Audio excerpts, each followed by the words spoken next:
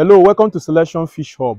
And in this series of fish farming without water change, I'll be telling you in details what have been happening in this farm over time and what we have been able to do to manage our fish to grow out without water change. The application of probiotics to your fish pond. How these probiotics is being used and how we have been able to achieve the success so far. I'll be showing you in details how you can effectively use these probiotics to grow your fish without water change. If you are new in this channel, remember to subscribe and turn on your notification button so that if you share any video, especially on this series of fish farming without water change, you will get the notification. So basically, we have achieved the success so far in this farm with three major probiotics that comes from Organica Biotech. It's an indian based product that we use to farm our fish without water change. One of them is called bioclean aquafish. The second is called biogut aqua.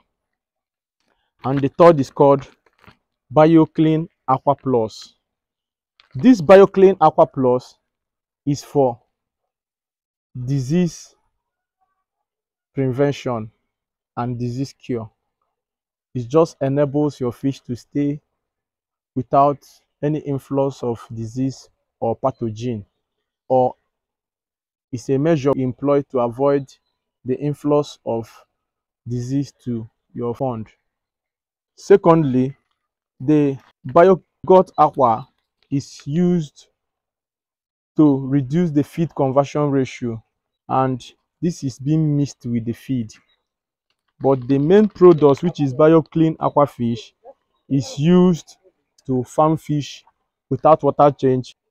And we introduce it in the pond by emptying this product in a 10 liter of water and giving it a, a period of five days for it to be able to culture before we pour the water and the product into the fish tank. This BioClean aquafish comes in this pack and it weighs 50 gram. So this is a 50 per gram of BioClean aquafish. So BioClean aquafish is the major product or the major probiotics we use to culture fish here. This extra two products are just supplementary product that backs up this. One of them is used for biosecurity while the other one is used to reduce the feed conversion ratio so that when our fish eats it converts well to body flesh. And the proteinous food that the bacteria produce when they act on the ammonia buildup, the fish can be able to convert it well to body weight. Each of the tank ordinarily have a carrying capacity of 500 fish to grow out. But because we wanted to achieve this process of culturing your fish without water change, we reduced the stocking density to 250 fish per pond. Since we are not using aerators, and the success is just tied to the fact that we added sand to the pond bottom. So the bacteria are prolific in this pond because it have both the soil as a substrate to attach itself and also the water to dominate. So the action of the bacteria is high on the water because we added soil also to the pond bottom Moving forward, we notice that since we are not using aerators, reducing the stocking density is the best way to reduce competition in terms of oxygen and other water quality parameters.